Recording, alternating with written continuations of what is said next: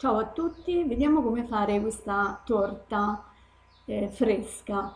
Allora, avete bisogno di, della pasta frolla, poi vi metto i link in descrizione, e di un contenitore per crostate.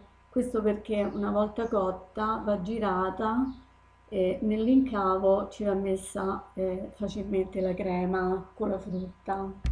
Poi abbiamo bisogno di frutta fresca a fantasia eccola qua l'ho già preparata.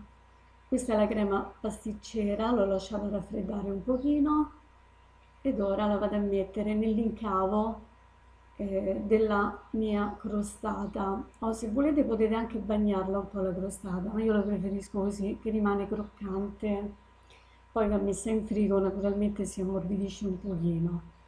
Ok inizio poi a lavorare eh, con un po' di fantasia la mia crostata ci ho messo le fragole, le ciliegie, eh, ho levato il nocciolo e le ho divise a metà. Eccola pronta, ora eh, ho preparato intanto la gelatina con le dosi che ho letto sulla busta, acqua, zucchero, ho fatto bollire, la faccio stipidire un pochino e la verso sulla frutta mi manca la nota finale. Ecco qua. Ho preso delle fragoline eh, dal mio vaso e le ho disposte al centro. Una manciata di fragoline vedete? E così è completa.